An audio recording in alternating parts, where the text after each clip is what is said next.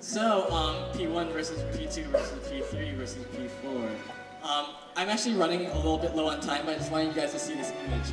Um, so Persona 2, you have Hitler.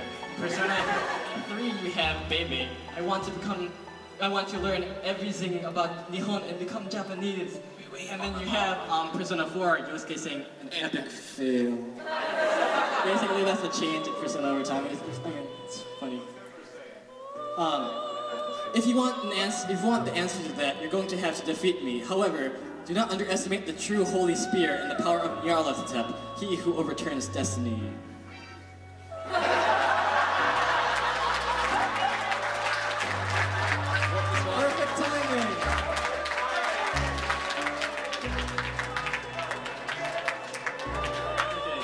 So, um, a lot of people, a lot of old fans, there's a rift between fans of P1 and P2 and, and the fans of P3 and P4. But I say, like, why can't we just, like, get along? Haters gonna hate.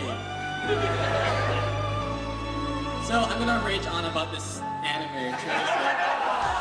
Considering the time, I think we can say it was terrible, and the only redeeming factor was Akihiko, and that was very redeeming. Well, basically, um, I'm gonna rage about it even more.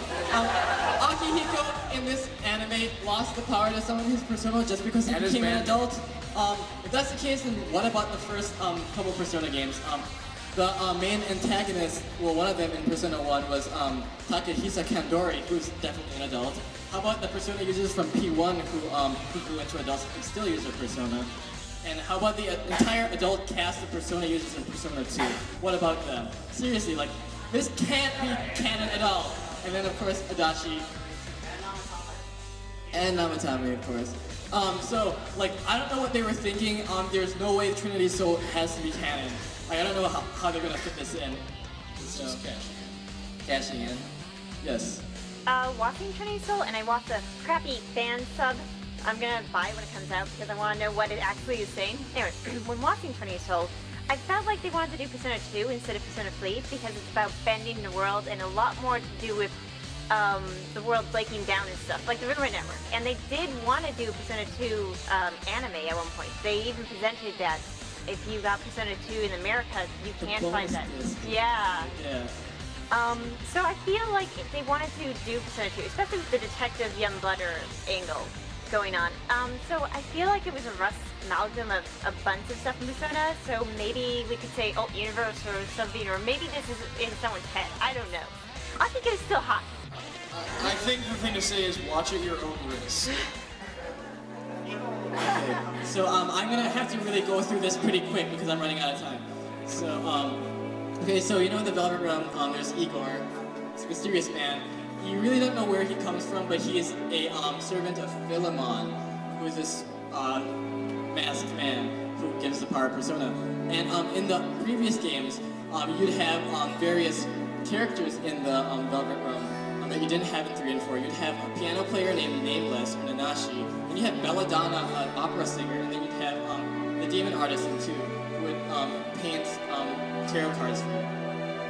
So um, the form of the Velvet Room really depends on the guests. Um, it's a regular room for the P1 and P2 Persona users, but it's an elevator for the Persona 3 main character and a limo. I guess Soji rides in style. So, uh, um, Philemon and the wild card. Um, basically, Philemon um, is this mysterious deity in the form of a masked man who can take the form of a mysterious butterfly. Um, I said that he resides between the conscious and the subconscious, and he's based off the writings of Carl Jung. He was Jung's spiritual guide, and um, in Persona 1 and 2, he grants people the power of Persona. Um, and opposite him is Nyarlathotep, the crawling chaos, who um, just wants to get rid of mankind and screw them up. So, um, did they remove Philemon completely from Persona 3 and 4? Um, in Persona 3 and 4, you still see the butterfly. Um, and the characters who can use multiple personas have seen the butterfly. Like you see um, um, Minato, uh, Minato, the Persona 3 main character. Um, he saw the, um, the butterfly upon like um, going into the dorm. Um, I just saw it before she, all, before she morphed out. And in Persona 4, your save points are blue butterflies. So, so what's the wild card? We really don't know for sure. It's just the powers of someone, multiple facets of yourself, I guess. I guess.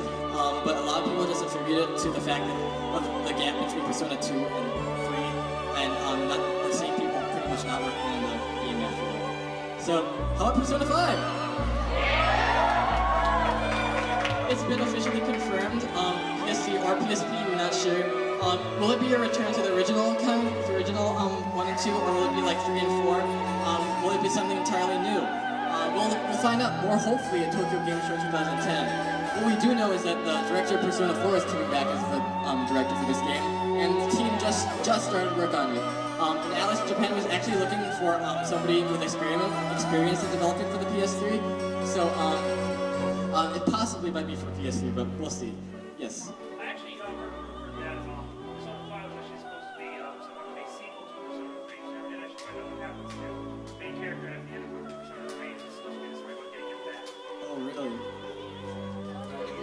Well, and uh, well, you know that Elizabeth goes to save him too, and uh, and uh, and what I what I really want is a Persona 2 like this. So um, we're running out of time. I'm really really sorry.